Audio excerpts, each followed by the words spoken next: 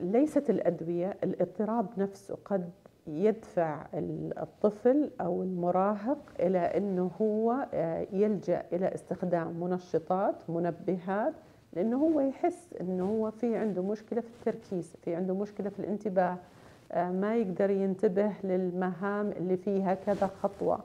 فهو قد يلجأ إلى استخدام منشطات منبهات حتى أنه تزود له التركيز تزود له الانتباه.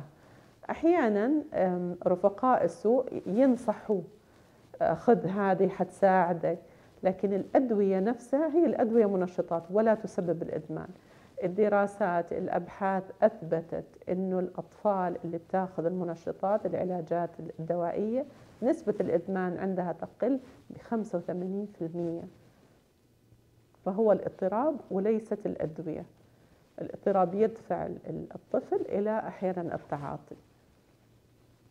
لكن الأدوية نفسها لا تسبب لا تسبب آه، إدمان رغم أنه هي منشطات والطفل يحتاج إلى المنشطات هذا لأنه بيكون في عندنا نقص في وتركيز آه، الناقلات العصبية المسؤولة عن اليقظة والانتباه.